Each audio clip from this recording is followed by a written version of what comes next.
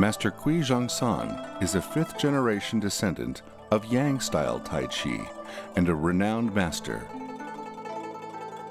It is said in martial arts that the most important step is the first one finding the right teacher.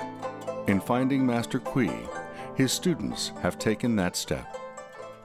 那么我进行我对杨氏太极拳的练习应该有五十多年的历史了。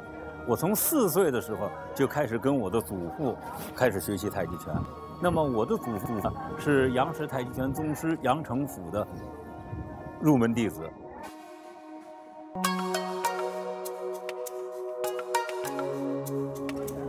那么杨氏太极拳的最大的特点，它的动作非常的舒展。那我们看到很多人练习杨氏太极拳，他的动作都非常的好看。你看他每一个架势之间，他动作非常舒展，而且他的手型要求非常严格。杨氏太极拳的手型应该我们讲是五指漏缝、掌心内含、虎口撑圆、掌指富有弹性的这种手型，是杨氏太极拳的手型。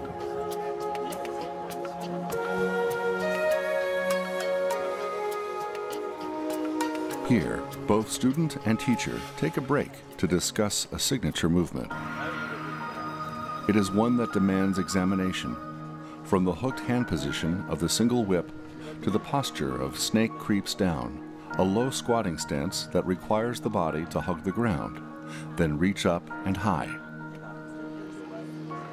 This is a strong, dynamic movement that refreshes the body, boosting the blood flow this posture is a favorite with practitioners The entire body in movement, with the hands and feet drawing part of a circle. 看到太极图的时候，它是一个圆形的一个阴阳的图形的变化。实际上，它是中国哲理的原始的哲理的一种代表。它代表了一种阴阳，代表了一种正负，代表了一种上下。 所以在做太极拳的时候，它有一个理论叫做用意不用力。那么太极拳用意，它首先是对于精神、神经系统一个非常严格的要求。说太极拳是一个文化拳，它需要你在练习的过程当中，不断的去思、去想，如何去运用这个手法。那么首先是神经系统的。那么在运动过程当中，不是用。力量去做，而是用自己内在的支撑，慢慢的去做自己的动作。